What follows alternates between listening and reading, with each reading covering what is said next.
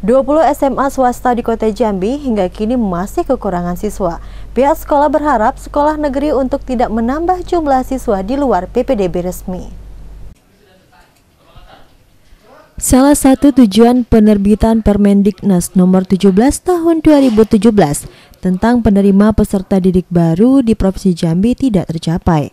Peraturan PPDB sistem zonasi yang harusnya memberikan keuntungan bagi sekolah swasta karena siswa yang tidak tertampung di sekolah negeri namun ternyata tidak berlaku di Provinsi Jambi, khususnya untuk sekolah jenjang SMA.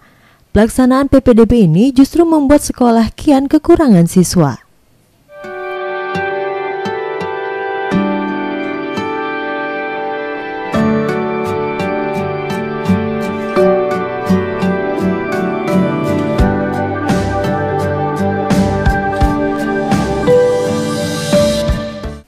Ketua MKKS SMA Provinsi Jambi Jaya Kasumantri membenarkan dari 37 sekolah terdapat 20 sekolah yang masih kekurangan siswa.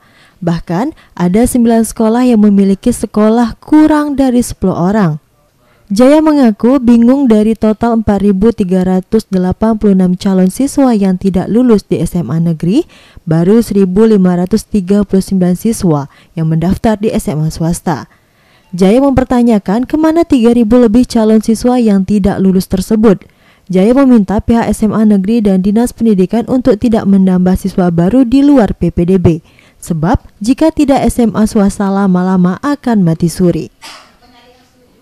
Yang mengatakan minimal 20 maksimal 36. Nah maksud saya kalau memang pemerintah itu anu konsen untuk membina sekolah swasta, ini kan harus jadi perhatian masa muridnya cuma dua tiga orang empat orang kan gitu kan? Hmm. nah kalau memang dua empat tiga orang ini tidak memenuhi syarat gimana solusinya ke depan?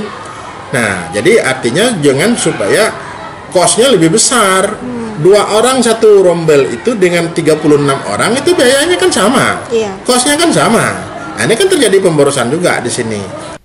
SMA 9 Lurah Jambi salah satu sekolah yang hingga saat ini masih kekurangan siswa hingga saat ini masih melakukan perpanjangan pendaftaran.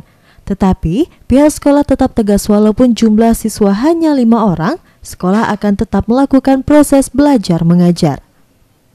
Sistem belajar mengajar, anak itu walaupun jumlahnya lima, guru kami tetap mengajar. Apalagi sekarang tahun ajaran baru ini adalah kelas 1 harus uh, K13.